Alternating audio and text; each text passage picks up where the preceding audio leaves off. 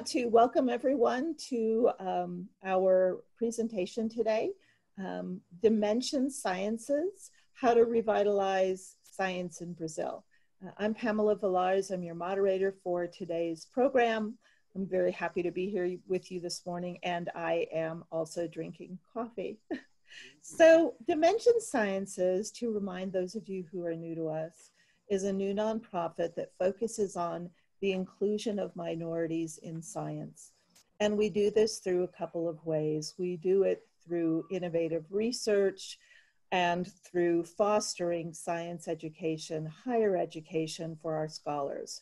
Our scholars receive mentoring, uh, they receive education, and well, scholarships, which helps fund that innovative research. Uh, the other thing we do is we're committed to sharing uh, what we can with the public to foster science education for the public. And, and really this presentation, How to Revitalize Science in Brazil, is our third public event. And we thank you so much for joining us.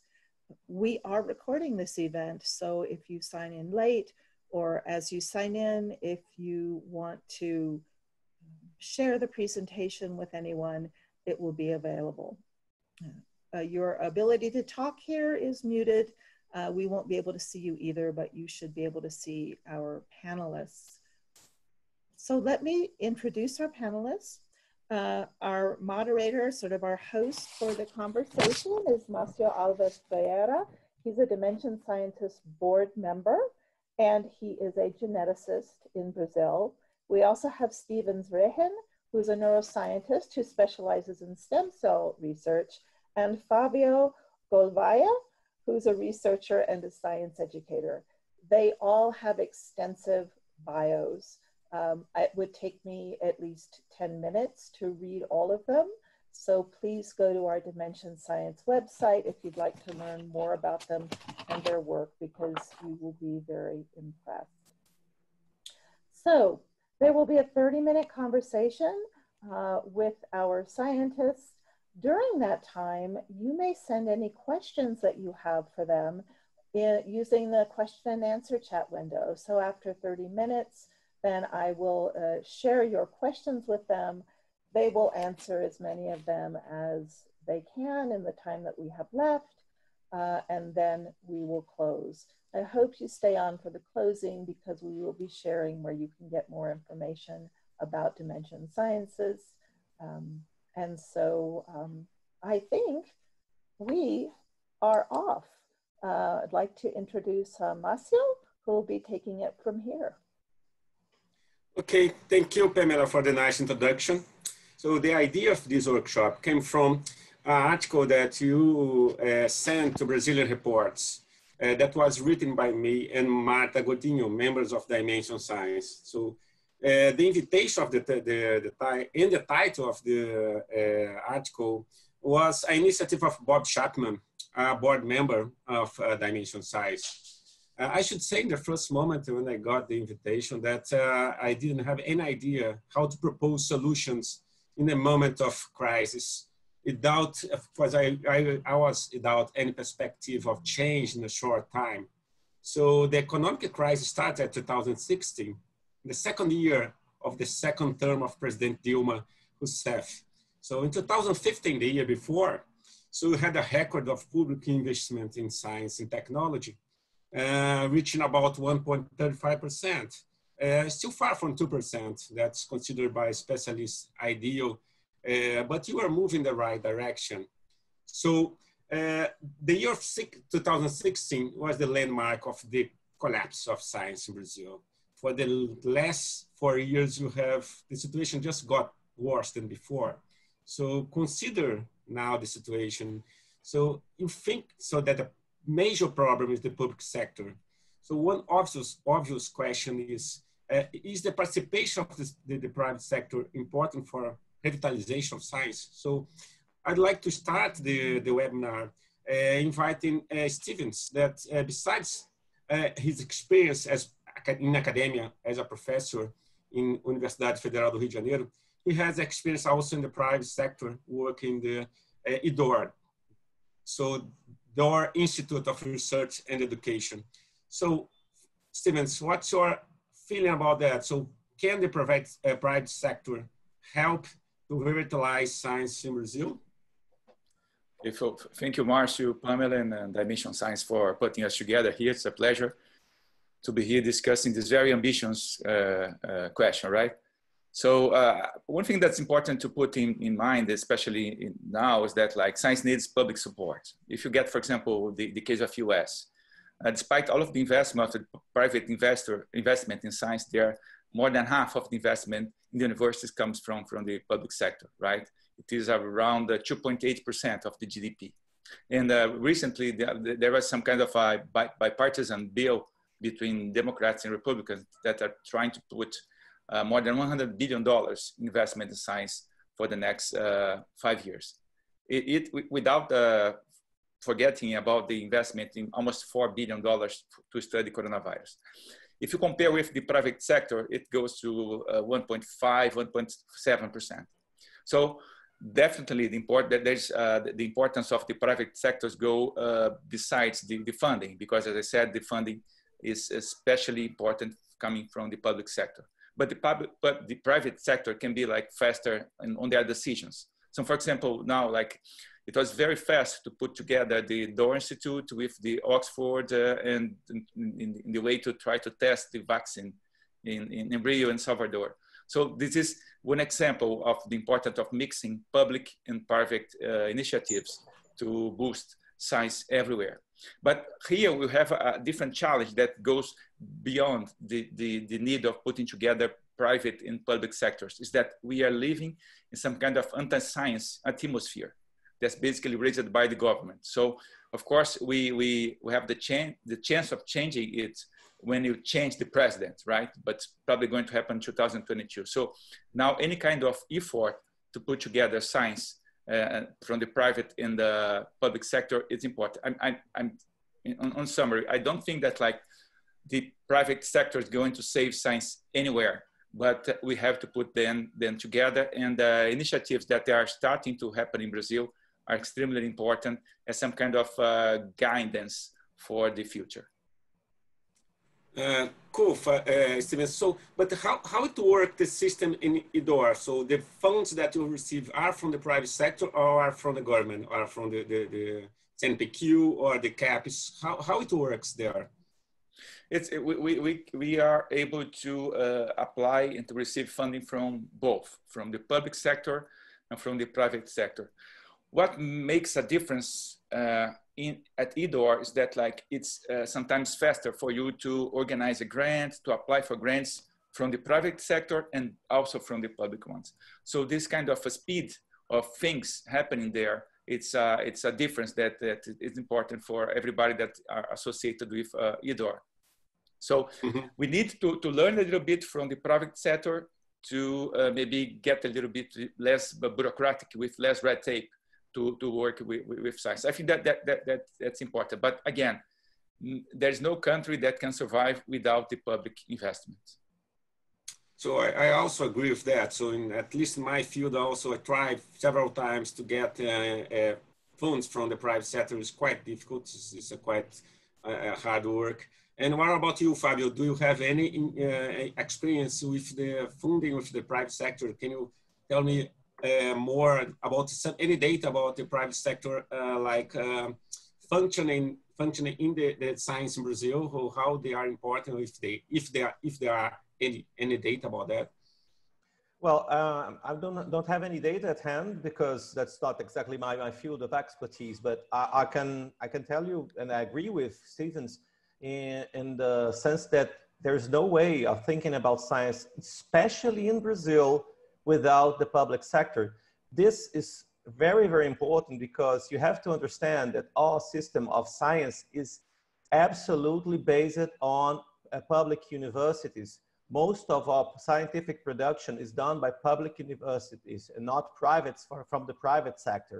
So this uh, may be the, the partnership that may make that that, that, can make easier for the funds from the private sector come to the university as the public and private uh, uh, sector uh, corporations that the government try to, to um, promote it's very important. And one thing that's critical is the speed of it. Re really, Steven saw uh, absolutely uh, right on this because without speed uh, and the ability to debureaucratize all the process of receiving the money and spending the money and importing stuff from abroad. You know, we have a, serious problem about uh, uh, uh, of of the importation of every kind of chemicals and genetic material, and so the the bureaucracy in Brazil is something uh, you know unbelievable, and it was something that.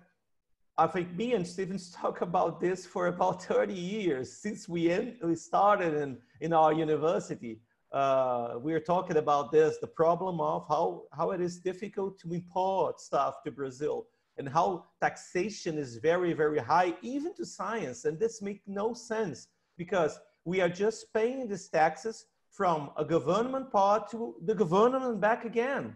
You know, right. What's, so, yeah. what's the logic of this? And, and mainly the paperwork that's necessary to, uh, to get the, the, the material in Brazil is it's unbelievable. Yeah. So yeah, that's that's one important point. Most of the science is, is made by the public sector. So 90 95% of the science is made by, by the public sector. So uh, the private sector has uh, like a small uh, percentage on that. So uh, that's another day, uh, important information. So well, so that's your first impression. So the private sector is not a solution at that, in that moment, at least what I heard from you guys is there another i mean is there a, a, a possibility to change that that uh, that field? So to change for for to, to improve the, the participation of the private sector that you have any ideas online on that, about that no? or that's something that is can be done uh, as fast as you you'd like? What's your impression about that? Is, is that is there any possibility to to change that that picture I think that that's some sense we are, okay. I think that that's some sense we are living this kind of uh, situation now. We have more uh, input from the private sector in the, some of the basic science fields. Uh, we don't have so many things going on in terms of the industry, like we don't have a lot of investment in R&D. And, uh, but there is some ways that we can try to do to improve that. For example, if you go to uh, one comparison that we can do is with Chile, right? Chile has a very interesting uh, uh, strategy. They are doing a lot of partnerships with companies in California, and they and they are these companies in California. They are putting uh, funding. They're investing to do R and D in Chile. So they have like mm -hmm. a big companies in California doing their uh, science in Chile because they have a, a very good science. They have uh, very good scientists, and in terms of the of the the, the the the amount of the investment, it's cheaper to do science there. So this is some, it's, it's a kind of example in which we can do these things in partnership with some, with some companies. We have a, a five-year already uh, agreement with L'Oreal, with the company L'Oreal, in which we developed for them some of uh, different cell types and uh, to do to, to be used in research in, in, cosmetics both in Europe and in Brazil. So this kind of things is, is, is, happening, and of course you have to be more open inside the public uh, universities for this kind of partnership. This is one challenge. You have to challenge, we have to change the way that we see the private sector, sector and uh, the importance of putting both together. This is, uh, uh, we, we see this happening in a very good sense in Europe, in Asia, and uh, in US. We, we, this is one way to do the same here. And I really like the example of, of Chile at some sense. But mm-hmm. again, we will need the, not only the funding, but also the, the support from the public, from the government, from the public sector to do this kind of thing happen, to have this kind of thing happening. Yeah, that's a, a good, it's an interesting information. So how, I mean, people in Brazil can get, I mean, scientists in Brazil can get funds from other companies abroad. So that's, that's some, some important information. So Fabio, you are going to tell something? Yeah, uh, you know, we have uh, in, in Brazil a, kind of funding from the government that's basically what we call the, the sectari sectorial funds, you know, that's based on any kind of taxation that is put it on a certain kind of sector of the industry. And this money can go to science.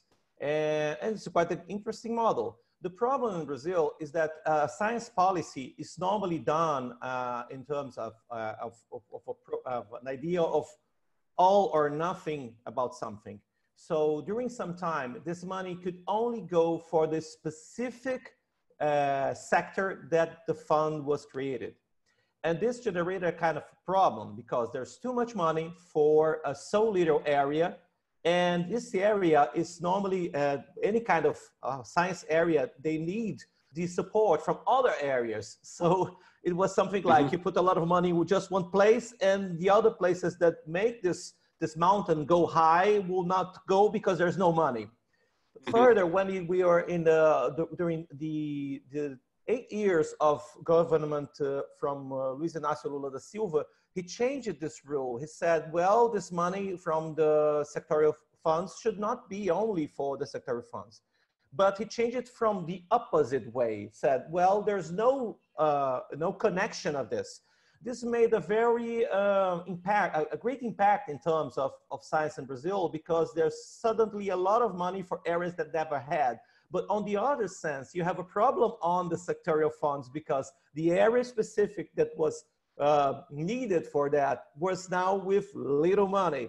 So mm-hmm. we have a lot of problem in Brazil in terms of poli- science policy, in terms of not looking at things. It's not a question of this or that. It's a middle ground. It's something in the middle. It's not like Einstein would say, I think it was Einstein that said, I'm not a physicist, but anyhow, it's not a question of being a, a particle or being a wave. It's, it's in the middle ground of this. It's the two things at the same time. We have to put part of this money for everyone, but part of this money in specific area so that the mountain will go high. So every, every, everything will grow. But, uh, you know, it's difficult uh, to see this happening in Brazil. Like we, we have this all of one way or the other way uh, always in, in, in science policy. Good. Good. So, Fabio, uh, another putative drive for the revitalization uh, of science in Brazil could be the science communication. So you have worked for a long time science communication in Museu da Vida, Fundação Oswaldo Cruz. Uh, besides, you have a channel in YouTube, Mineiros de Dados, uh, dedicated to Altmetrics. Can you tell more? Uh, tell, tell us more about this initiative? Explain how science communication can help to revitalize science in Brazil. First of all, we have to uh, regain a trust in science in Brazil.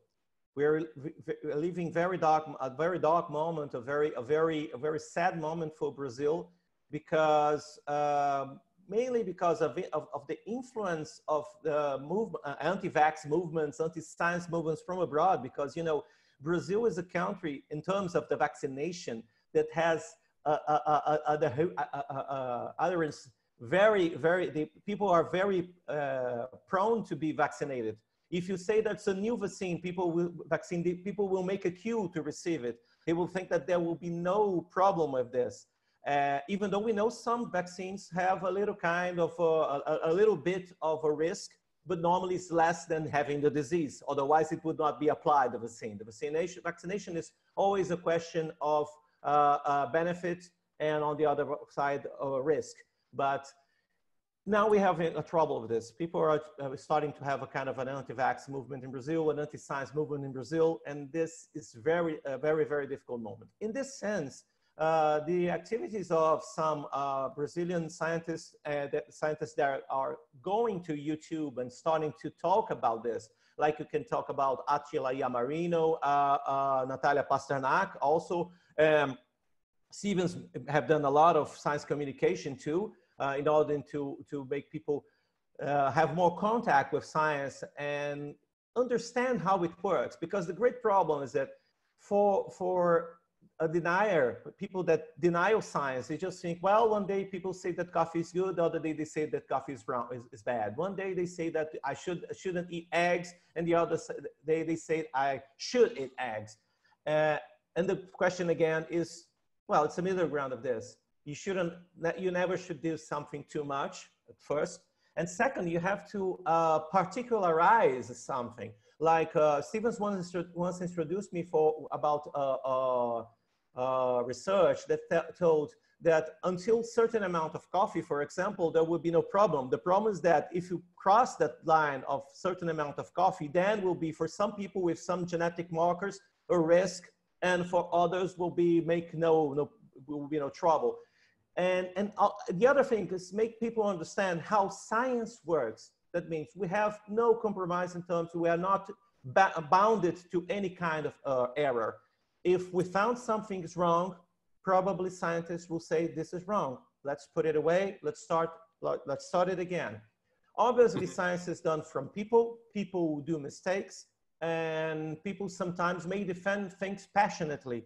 Let's not just think that science is something like a pure, um, you know, saint or something like that. It's constructed by society. It's a, so a social thing. But in other words, the great thing is that going back to the beginning is something for science that we don't think as something wrong and that we don't think that's something we cannot do. We should do this every time.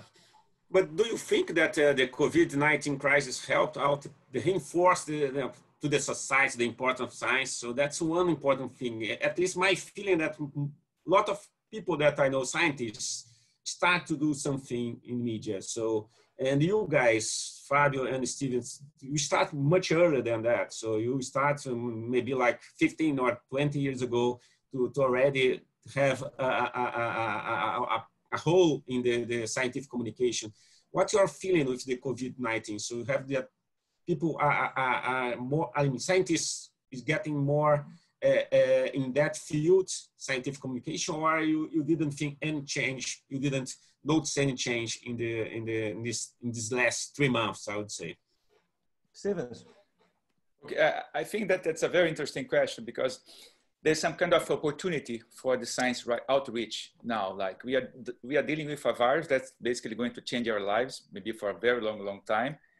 And uh, people and the, the, society they they we need like more uh, information more clues about like uh, biology about uh, medicine about virology, about epidemiology.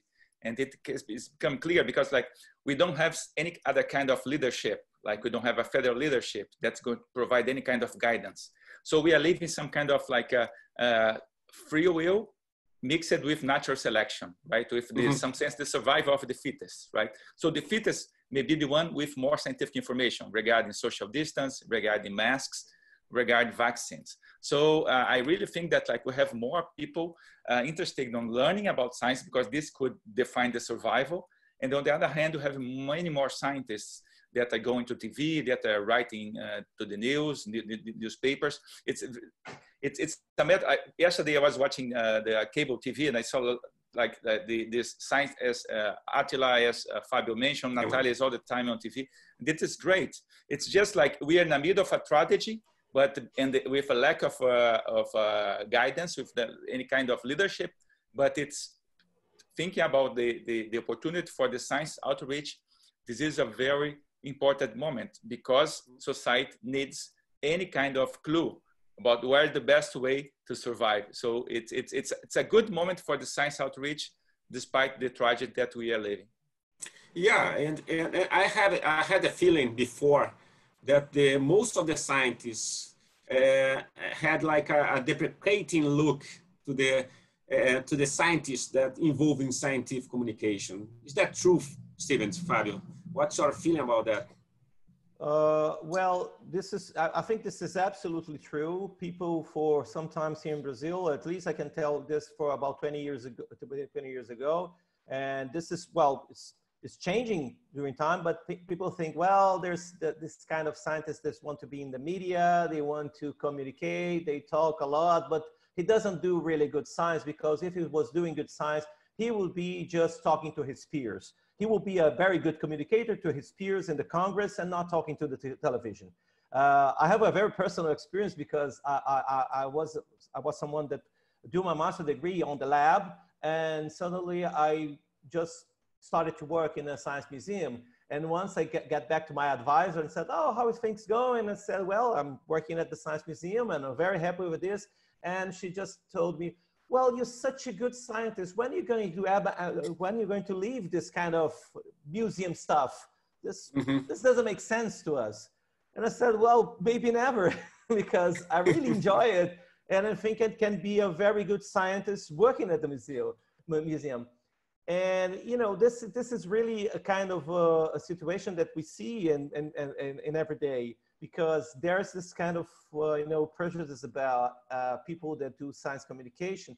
But I think the pandemics are changing really that much uh, uh because uh, scientists are taking very seriously the importance of having information to people people are engaging on this and you know every day we saw portugal at least i saw people from portugal clapping hands for the people from uh, the from healthcare and and and then doctors and nurses and so but we should make a stand-up ovation for, for people in science i know a lot of, of, of doctorate degree students that are working even without uh, a support without any kind of grant from from the government and working for free in this time in Brazil just to help trying to ensure that they will have an exam, the, a, a, kind of a test being done or something that maybe contribute to, to the COVID-19 pandemics in Brazil. And this is quite amazing. And this shows what kind of love that we have when we really deal uh, with science production because uh, you know, I make there's some serotonin in knowledge gaining. You know, there's something that happens with this and make us. Uh, maybe you have a kind of, any kind of study that you have read about this, uh, Stevens, that people that start working with science have some kind of uh, of neurotransmitters going to him. yeah, probably Stevens, you had had the same feeling yeah, before because you have a, you, you are quite often in the media. So what you're feeling about the other scientists when look at you at the media? So eh, I, I have the feeling also, I mean, for friends that are scientists as well, that they look in a different way for people that go to the media. So that's quite bad in the sense that exactly these people should be valorized for the way that they do uh, and the, the, the, to make science more popular. So I think that it's changed the last three months, I, I guess. What's your feeling? How, how is your experience about that? Yeah, I, I, would say that I would just add, I think that like uh, Fabio really made a very good overview about the situation, but I'd like to add that I don't think that's something specific uh, from Brazil. Like if you get, for example, the, the case of Carl Sagan, right? It was one of the most important scientists in the science outreach uh, field forever, you know, but like, I don't know if you guys know that he was never elected to the uh, US National Academy of Science. And because he was very famous to the society. And uh, despite the fact that he was a very good scientist as well. So we have some kind of, uh, of, of uh, internal uh, lack of support to the science outreach.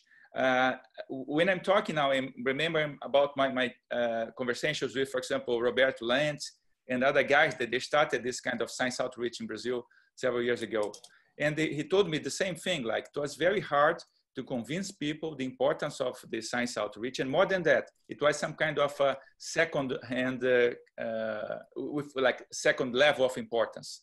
Mm-hmm. But uh, mm-hmm. things are changing. Even b- before the, the, the COVID-19, we had like a, a change, as uh, Fabio said, uh, regarding YouTube podcasts and other uh, and, and all of the things that like uh, museums such as the Museu da Vida were doing to to, to really uh, reach more people. It's a long uh, journey, I would say, to have this science outreach being more incorporated. But for everything that like we're seeing on TV, on the news, things are are, are, are changed. But it was not not that was something dependent on on the on the specific country. It was something that was really internalized in the scientific community. Mm-hmm. So you think that that happens in any other country, so like in USA and other, in other countries. So that's that's so important information as well. I I thought in the beginning that was something specific to Brazil. So I, and we are going to the going to the end of the the, the, the our talk. That's pitch because we have a lot to do, a lot to talk. Uh, so, but there is one question that's quite important. So, what's the role of non-profit institutions in the in the role to, the, to revitalize science in Brazil. So, for instance, you have uh, Instituto de Pesquisa Serrapilheira and more recently Dimension Science that provides fellowships and grants uh, to the scientific community.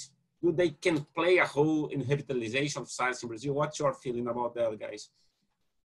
I, I would say that like thinking about Serrapilheira and dimensions, I think that the most important thing is that they bring uh, some kind of uh, fresh air, you know, they bring fresh air and new ideas to the system. And it is essential, right?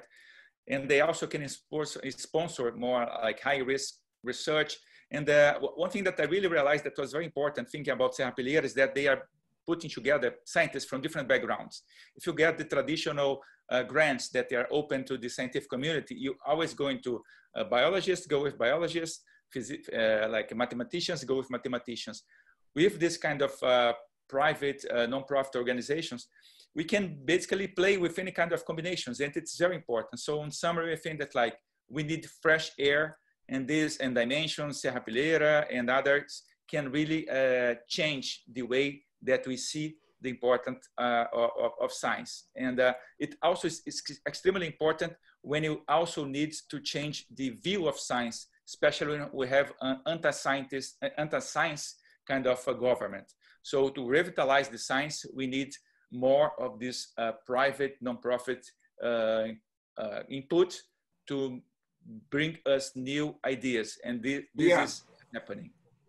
Yeah, no, that, that's quite quite interesting point, for, uh, uh, Stevens, because exactly this fresh air that makes us think about how to, to deal with science. For instance, they have like specific programs to, to, to, to finance uh, science outreach. That's something that nobody was doing in Brazil before. So uh, no, no institution like CNPq or CAPES was doing. So yeah, that's, that's good point. And Fabio, do you have anything about that? Yeah, you know, one thing that I, I think it's very interesting about uh, the private sectors and the nonprofit organizations in terms of science uh, investment in Brazil specifically is that uh, scientists in Brazil are more used to the way of creating projects and having all the, the you know, all the process of approval and then showing the results in one way uh, that's not so professionalized, you know, because the, the, the way in the, in the public sector is, um, I, I, I, it's difficult to explain, but it, uh, people are not so used to doing a kind of a project that can really uh, outreach in other sense, because when people put this in the, in the public sector, normally they will be just analyzed by their peers. And when you put this on even a private sector or you can put in, in a, a nonprofit organization, people have at, at least to start to think about how they can communicate what they want to do to other kind of, of, of eva evaluators, you know? And normally, uh, when you talk about private sector and you talk about nonprofit organizations, science communication is being one thing that they, people, people think a lot because when uh, the government put money, people think, well, I'll do my research and what's the result this in terms of, of information to the society of what was done? Because there's normally some direct result that could benefit society in some sense, but what's your science outreach on this? Uh, in the last 10 years, there was some kind of a, of a, of a need in, in this kind of public funding projects to think about this, but especially when you talk about uh, private and nonprofit organization, people ask, well, how can you, how you, you will communicate your results to society?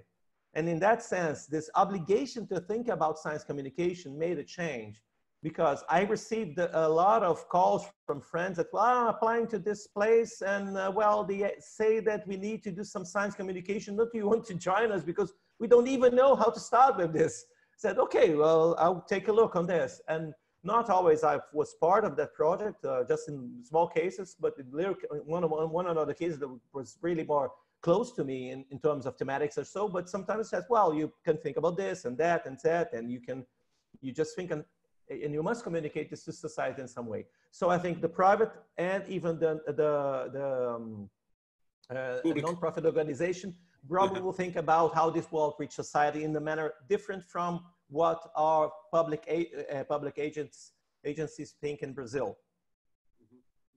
Well, and uh, how about the, the, the, grants that they, they, they, they have? So that's just a small fraction, uh, I guess. Yeah, again, the public investment is the most important. That's my feeling, because uh, they, they open uh, almost every year a, a, call but still not, not comparable with the, the, what you have from the public sector. You depend very much of that, isn't it? Yeah, so the, the Stevens. Uh, maybe I missed a little the, the, the, point here because you mentioned about the importance of the, of the public sector to also to the science outreach. This is no, no. I'm talking about. I mean, consider the the the, the non-profit institutions. They they are financing science, like giving fellowships or grants, uh, but still like a small fraction of of money for that. So compare with what you have from from the public. Uh, sector. So uh, that's that's my point. So it's still, I mean, you depend very much of the public sector comparable compare compare with the the, the, the non-profit institutions or private sector. Oh yeah, it, happens everywhere, right? We are talking about this here, right? There's, I think that like the most important thing from the from uh, uh, organizations, from these non-profit private organizations, is to bring fresh air, to bring more risk, and to put people from different fields together thinking about specifically about the amount of money, there is no, no comparison. We can't have any place in the world that will be uh, doing good science with only private money. We need the public money for the, almost everything, and then you can add this uh, private money to, to, to help. Of course, if you think about the US, I would say 55% uh, of the money comes from the public sector, and the rest, that's the minority from the private one. In Brazil, this, this, this uh, difference is, of course, much, much bigger, but still, it's always public funding that will make the difference. The private uh, uh, organizations will bring new ideas, we can change the environment, and this can really spread all over the system. This is, I would say, the, the most important legacy from, this, uh, from these institutions, from these organizations everywhere. Well, and then, then the science communication or the science outreach could help us to make uh, clear the importance of science for the public, the general public. And then these people, or say the people can in some way ask for the, the, the, public sector, so the people that they elect to be more, uh, to take care more of science. That's the, the major point of, of the, I, I would say the importance of the science communication and the science outreach. So to pressure the public sector to give money, or at least to have a part of their money to, to, to, the, to finance science and technology. Isn't it? Is that, that the point? To, to that, that's the most important point of, of science communication, science, science outreach. What do you think about that, Fabio? Uh, well, I think I think the, the importance of, of, of doing this uh, I, I, sorry, I, I think I missed the point too. sorry about that. So I, I think that you, you should, I mean, the science communication, the science outreach should make the difference concerning the, the people so the, the, that the, the science is important. So science yeah. is important because of uh, uh, uh, of several things that they can bring to the population. So that's the way that a scientist should uh, communicate and make them make that point clear. And then after that, so after change the way that they view the science, they start to pressure the, the, the government to, to, I mean, to, to, to deliver uh, grants and funds for science. So that maybe, that's maybe the best way that science communication, science outreach can help us. Uh, well, you know, uh, Wagensberg, a, a physicist, uh, from Catalonia. He was responsible for the creation of a museum that's an amazing museum called Museu La Caixa. Uh, it was founded by uh, Fundación La Caixa, that means uh, it's, a, it's a private foundation, but uh, as a kind of a bank or something like this. And he told that nowadays you cannot think about people not understanding what science is because all of our life is dependent on what science is so he said in order to be a citizen nowadays people need to understand at least a little bit of how science works and so so in that sense i don't think it's not um, it's not a, a exactly a, a, kind of a trade-off that people well you put here money here are what i'm bringing to you back in terms of science I think that's one way of communication, okay, and it's something that's important, especially on the pandemics. Yeah, we think that in this moment, it's, it's sensible to think that people are all running uh, together to work with, with a willingness to cooperate, with all uh, an ability to put all their efforts and expertise to this, because this is a very important thing at the moment. There was some criticism now for the funding for the, the uh, particle accelerator in Sweden, uh, in, in Switzerland, because I said, well, why doing this now? It's a lot of money and we are in another moment, maybe in two years from now, but that's not the moment to call about uh, splitting particles this way, way. But you know, mm-hmm. maybe splitting particles will make a difference to the next stuff. We don't know. Right. And and so you don't have to make be in the difference of applied science and basic science. And that's in that way, that's one thing that I think that's important to make people understand. That's what not a trade-off that you put this money in science and then so solve this particular and objective problem. Uh, you have think science as a more complex stuff. And we can use an example, a very interesting example that people normally do in museums. That's how is the work of science outreach from NASA. NASA do a lot of science, uh, uh, of work of science outreach for people to learn about science in terms of uh, astronomy, something that is uh, quite ethereal if you think about, because we're looking for planets or so, and how this will solve COVID-19 pandemics, how this will make us have more uh, food in the table, in everyday table. but this make people think about something that's lovable as well as science, to look at skies, to dream. And, May I add? And, and people when think about cutting money from NASA, people say, no, don't cut the NASA money because this is important. Students. So I have like a last comment from, so, sorry, Stevens, go ahead. So last, the last moment because you still have time. We have time to, to, to, to questions. So go ahead, do your comment, and then you move for the questions because I, I see now that there is a lot of questions here for us. It, it, it's a very it's a very short comment. That's one thing that I'm go just going to to, to add uh, because of the example of the NASA that Fabio said. We can't also uh, put a lot of expectation on the, the effort of individual scientists. We need to put effort and to expect that institutions that are going to make this kind of organization of the science outreach. In the university, in the, in the institutions, we, we should have people with different uh, backgrounds and different uh, kind of uh, perspectives of the work. We can't expect from the scientists that for, for all of the scientists that are also going to do science outreach but we should expect from all of the organizations, from all of the institutions that they're going to have a strong department of science outreach. This is important because if we, if we don't do that, we're going to be expecting for everybody at the university, okay, you have to teach, you have to do research, and you have to do science, science outreach. And this doesn't really work well. Mm -hmm, mm -hmm. I agree. I mean, uh, so let's let's go for the question. So I'd like to invite Pamela again. So Pamela, do you have uh, already some questions? I'm looking now in the chat, so. Uh, uh I have many, many questions. It's very hard to choose. Um, so I'll go back to the beginning a little bit. There was a lot of interest in the conversation between the, about the private sector and, and the industry and the public sector, right? So those two things. So how can we improve the connection and I think probably also funding between academia, and, and the industry, the private sector. So maybe maybe oh, oh. maybe Stevens and Fabio can can answer that better than me. Stevens, you first. You're the private okay. sector guy. oh, Not exactly. Not exactly. Yeah. No, not exactly. But but you have more. We have deal. You have deal with with the private sector in more than me. So yeah, I remember a few years ago that have some kind of uh, efforts to like, for example, uh, offering some fellowships for people from the university to go to the industry.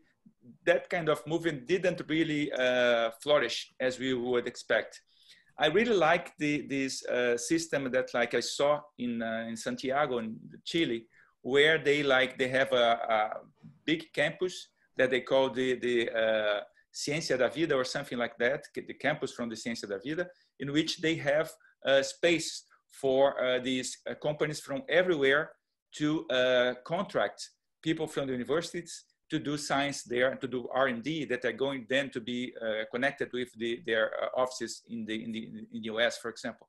I think that this could be something interesting. We have this kind of things happening here. We have, as I mentioned to you, with uh, L'Oreal, with other companies, but we have many more people in the university that can do some kind of uh, this kind of combination. But to do that, we need the university also to be more more open. And it's not only the university, because I see, especially at the uh, UFRJ, UFRJ people really uh, willing to do this kind of combination. But we need also in, among the, the professors, among the associate professors, this kind of a will. Okay, let's talk to them. Let's see how can we, we work together. But again, I'm just going to emphasize it, it once more. I think that this combination is good, but without the public funding, there is no science in, uh, here or anywhere.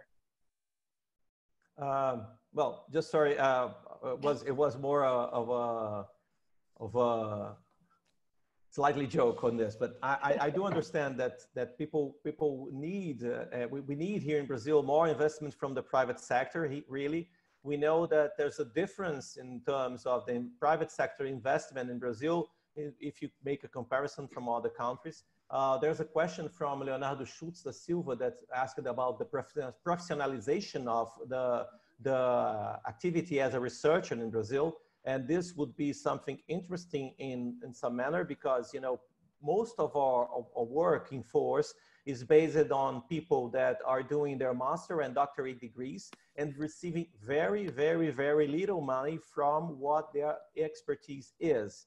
This is absolutely different from whatever you can think.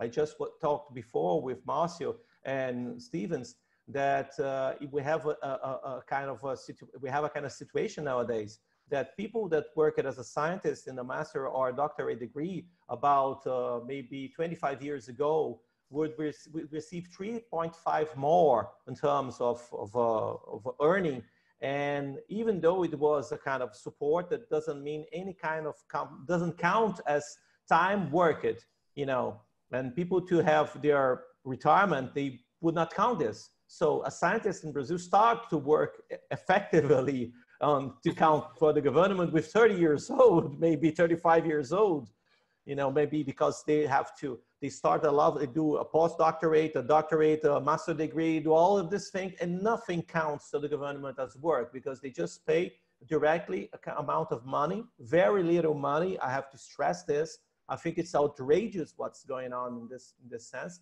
because of people with very, very high expertise and they are creating stuff and they are discovering things that will result in a lot of money for the country because in other, in other things, uh, solving problems, uh, things that will be used by the industry. And so, you know, it's, it's very, very, very, very uh, uh, uh something something that we, can, we cannot understand. You have examples like Netherlands. Netherlands, you you you have a contract when you start doing a kind of postdoctorate. You are you are treated as someone that's you're a worker.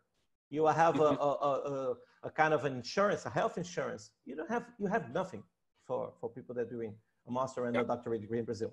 And this is this is, is, is absolutely outrageous for me.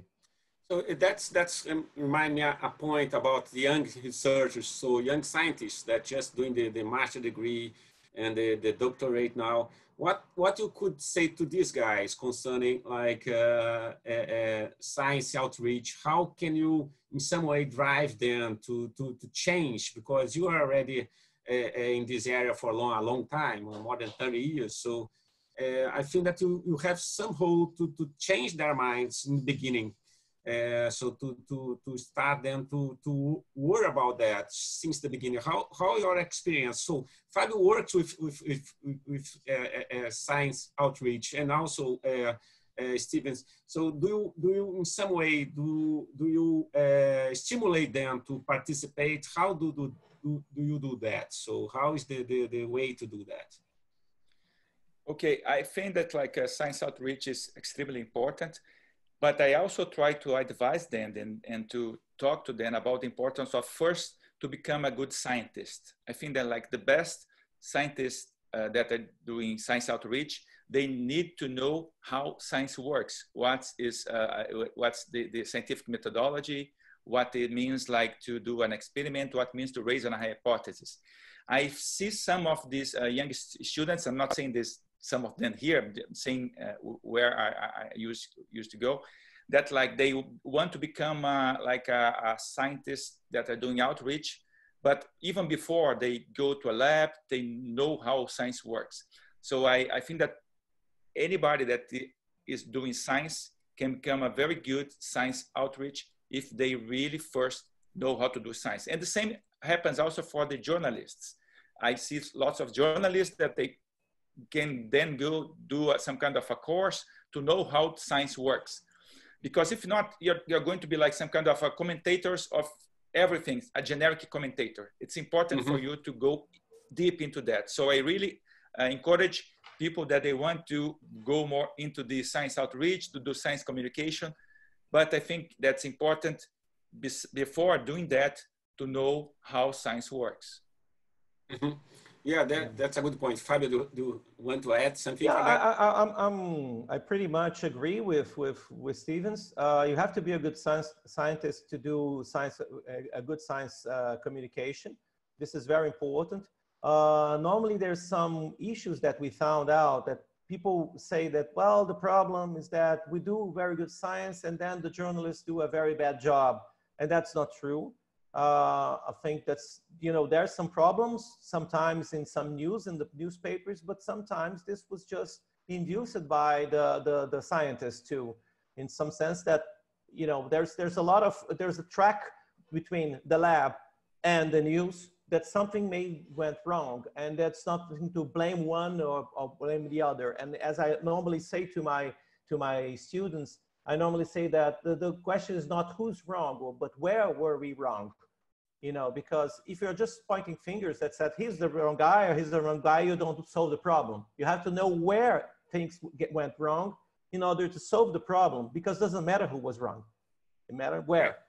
And in that, in that sense, uh, I think that uh, uh, uh, um, if, if we do like Steven said, that in, in the institutions, from the beginning, from the formation, from the in the universities, when people start doing and learning how to be a good, uh, uh, you know, biologist, a good medical doctor, a good nurse, a good everything, said, well, communication is something important. And in medicine, people have this kind of, of, of already uh, this kind of uh, preoccupation because they deal directly with the patients as the nurses. And so we biologists sometimes as we are in the lab with, uh, well, we deal with rats normally. So rats doesn't need such a science communication. Uh, tools, but you know we deal with we don't deal with people, but we do when we when we do when we when we give lessons, we give speeches, and we do so. In that sense, I think that's important, really important that people have a more of a formation on this to be able to communicate better. May I add something very quickly? Yeah, go ahead.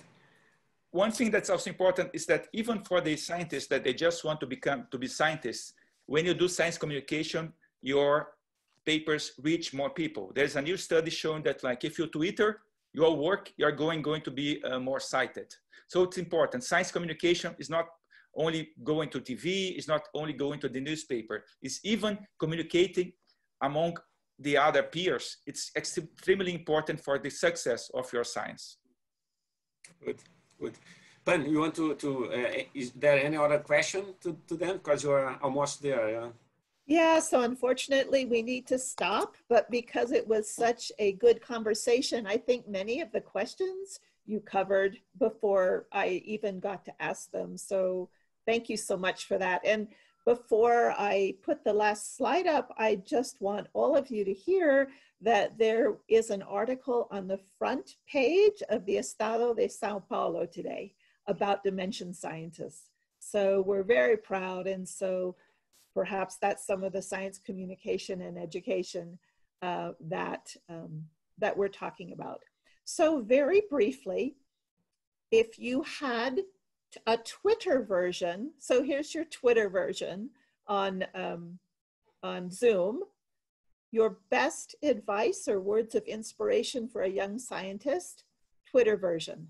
Uh, we'll start with Stevens. I would say that like for you to do a good science, a good science, you really need to be happy in this process. So I think that I would look for uh, happiness to do to a better job.